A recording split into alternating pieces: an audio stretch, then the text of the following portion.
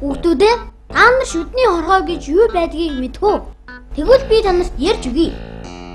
Хараач өнөөг шүдний хорхоо явж байна. Тэр хоёр их өсөж ядарсан байгаа биз? Энэ хоёрын нэгийн цоор нөгөөх нь хорхоо гэдэг юм. Тэд амттай ундаа чихэр идэж зөөлөн шүдэн гэрт амьдрах дуртай. Тэр хоёр хайж байсан зүйлээ олчих шиг боллоо.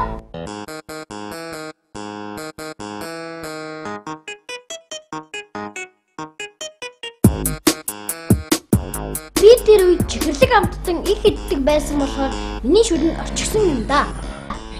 Тэгээд бүр ингэж дуусан гэж Хорхоо. Йоо. Цорл. Нүд наатга. Цоо наатга.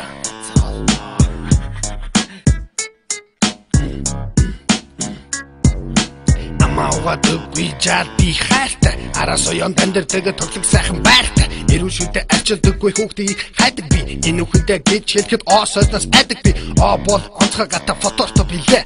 Олон удаа намайг айдгаж байсан билээ. Унда шиклэ сосогийн аман зөндөө. Угаасаа миний хоол чихэр мөндөө. Хоол чихэр чихэр чихэр унда Унда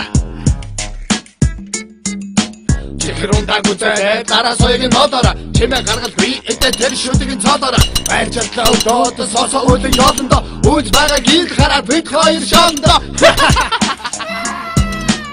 Үлчигцэн арак цолхон миний ажил.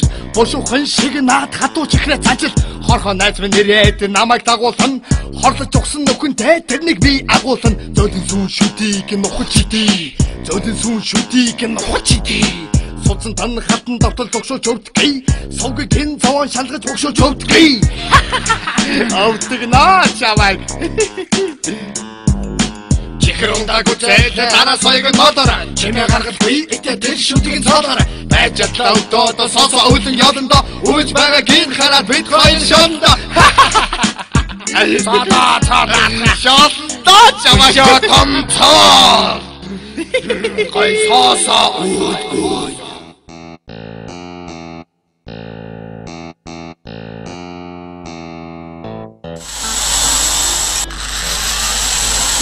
маш их хөвдөж. Харин эмч ихч миний шүдийг эдгэж өгсөн. Харин өнөө хоёр хорлоод би шүдээ угаагаад хөөж гаргасан шүү.